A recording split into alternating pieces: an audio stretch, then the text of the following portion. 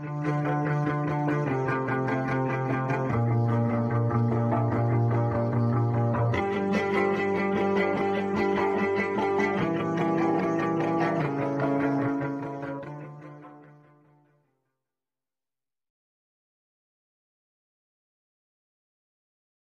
What's up nail fiends? Welcome back to my channel. So in today's video I'm going to be sharing with you guys how I created this super easy festive cozy design complete with a gel polish. This was a super easy look. You guys have been requesting easy gel polish looks so here is one of them for you guys. So if you would like to see how I completed this look then just keep on watching.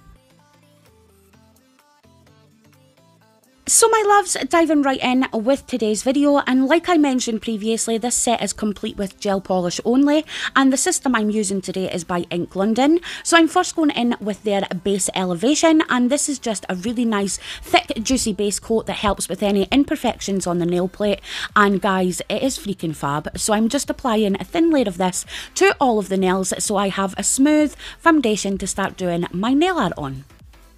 Next, I'm going in with the middle finger and I'm doing one coat of iLac I54, which is just a white gel polish. I'm only applying one layer because I am putting decals over the top and this gel polish is nice and pigmented anyway.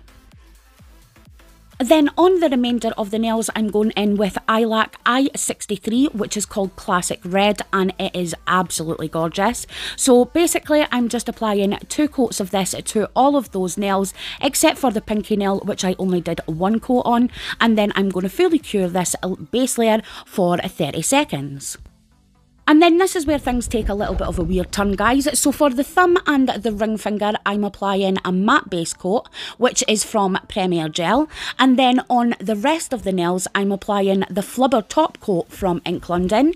And that's because you will see very soon that I wanted a matte surface on some nails and a shinier one on the others. And then again, that goes into my LED light for a full 60 second cure. And here is the base all ready for the nail art. So guys, like I mentioned previously, I am going to be using these absolutely adorable collaboration decals from Queen of Decals and Amanda Brown, I think her name is. Um, I'm basically using Valentine's Day decals, but they do remind me of the more colder weather, the more festive season. I always think like tatty teddy bears are very festive. So even though these are Valentine's Day decals, I am using them for a winter set and they went freaking fabulous. So as you can see, I cut out my decal, soaked it in water for about 15 seconds. I applied a layer of that flubber top coat to my nail again and on that layer that has not been cured I am going in with my decal and I'm basically just working this decal into that wet gel applying it so I am pleased with the shape and then I go ahead and iron out any of those creases and it basically does take a little bit of time to get all of those creases out, but the results are fabulous anyway. And then when I was happy with that, guys, once again, that goes back into my LED light for 60 seconds. So after I have taken that um, nail out of the light and fully um, wiped away any sticky layer, I basically just added a ring of red right around that nail.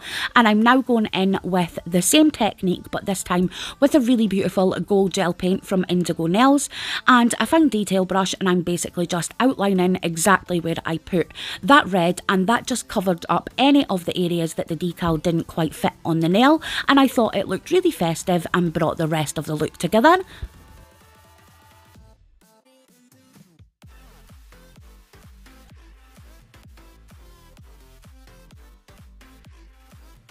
Then again, guys, I fully cure that nail and my next step is to go in with some builder gel in a bottle because these are um, these decals do need to be covered with an acrylic or a hard gel or something like that.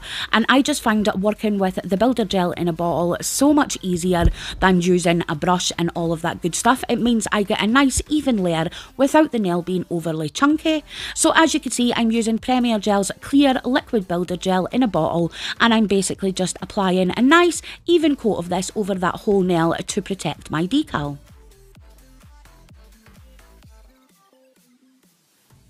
Then of course, to smooth out the surface of this nail and remove any of those little bumps and ridges, I am going in with my 180 grit hand file, also from Ink London here, and I'm just refining the whole nail, the sidewalls and the tip, and then I will go in with my Ink London buffer to remove any of those harsh scratches and give me a nice smooth finish on that nail.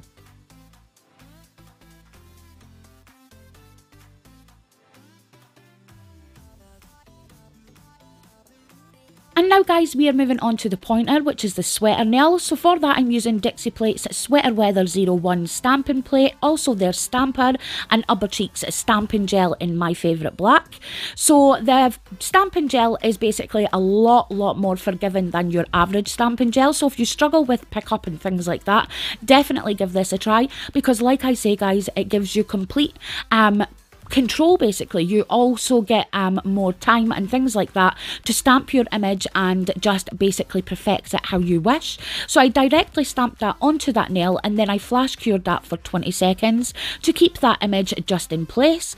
And then I finished off with a layer of matte top coat then onto that matte top coat with the same gel polish that I used to paint the nails, so that's Ink London's Classic Red. I'm basically filling in in between all of those black lines. But what I will say at this point is you do need to be very careful that you don't go over your black lines because when you go to sugar the nail later on, the glitter will stick to the lines and you won't see the sweater print as prominent as you probably would wish because trust me, I made that freaking mistake too guys and you just need to add a little bit of gel polish to the middle of your image for your glitters to stick onto and it gives it such a beautiful effect. So like you can see here, I'm just filling in all of that, um, that stamp that I created and then before I cure that, I'm going in with um, Glitter Arty Nails Glare Flare. This is not that one. This is the one that I actually made a mistake, but I forgot to film it. But I just left this part in simply because it's the same process. And then I just tapped off the excess and double cured that nail. So now for the plaid nail, I'm going in with Ink London's No Wipe Gel Paint in um, Black Night, I believe it's called. Um, this one is a really thick viscosity paint, so with that I'm adding some gel top coat, also from Ink London, just so I can make a more translucent gel. So I'm mixing those both in the middle, so I have the clear, the translucent gel, and then the opaque black all in one palette. Then with the translucent gel I just made, I'm going in with a detail brush and I'm basically adding my plaid design. So I'm starting at the top of the nail to the cuticle area and then I'm doing my first sort of solid black colour there. But instead of it being completely solid, we are using the translucent gel. So I am working that in so I have darker parts in some areas because I want this look to be sort of more of like um, a distressed feel as opposed to like a more put together played look. I just thought it went so much better with the Tatty Teddy sort of theme. So yeah, I'm repeating the process slightly further down that nail with another black block. And then I'm just taking my gel brush here and tidying up those lines so the top part of the design is nice and straight.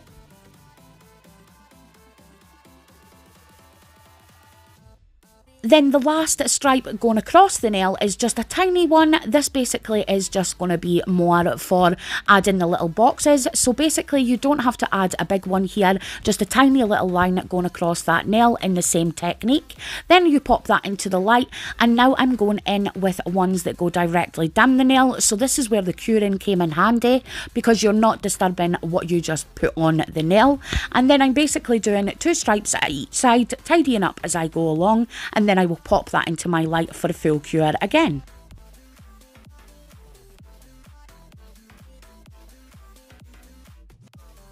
So back to the paint palette and going in with that fully opaque gel paint. I am now going to be adding boxes at the top of these nails. So you could sort of see here where the design's starting to come together. I'm going to be putting tiny little boxes at each corner there. And then I do the same with the second stripe. And you want these stripes to be in line with each stripe that you created so the design is cohesive and all comes together.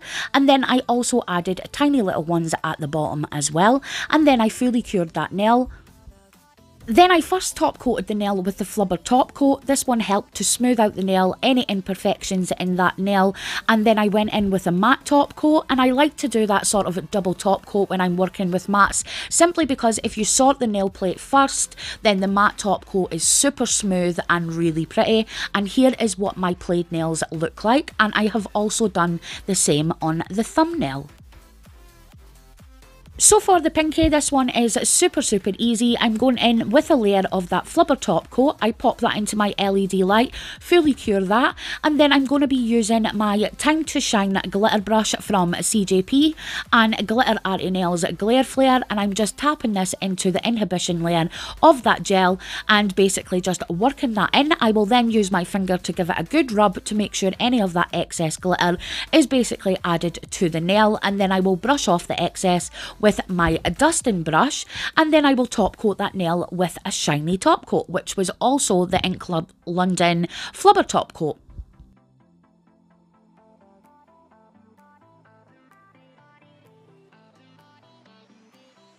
So guys, once I had completed the pinky, I popped that into my LED light for a full cure and this is what the set looks like before I have gone ahead and added a bling or anything like that. You can most definitely leave it like this, but you know me, I always need to add a little bit more.